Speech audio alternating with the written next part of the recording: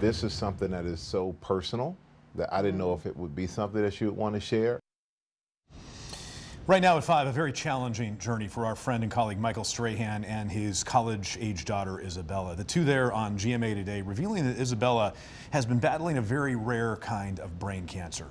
Isabella Strahan is undergoing treatment at the Brain Tumor Center at Duke University Medical Center in Durham. She'll start chemotherapy at Duke Children's Hospital. That'll happen in February. Michael Perchik joining us live all new at 5 o'clock. And Michael, this kind of cancer, very rare for young adults. Steve Lauren, about 500 children are diagnosed with medulloblastoma each year, but as you mentioned, it is quite rare for somebody of Isabella's age. She's currently a freshman at USC and just a month into her first semester on campus began experiencing headaches. In early October, her symptoms worsened. She had nausea and struggled to walk properly. Ultimately, she sought medical care, and doctors discovered a four centimeter tumor in the back of her brain.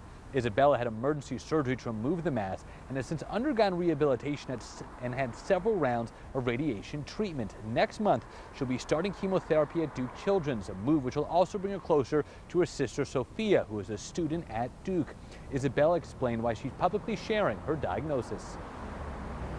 It's been like two months of keeping it quiet, which is definitely difficult. I don't want to like hide it anymore because it's hard to always yeah. keep it and hope to just kind of be a voice and be a person people who maybe are going through chemotherapy or radiation can look at and find something interesting about their day.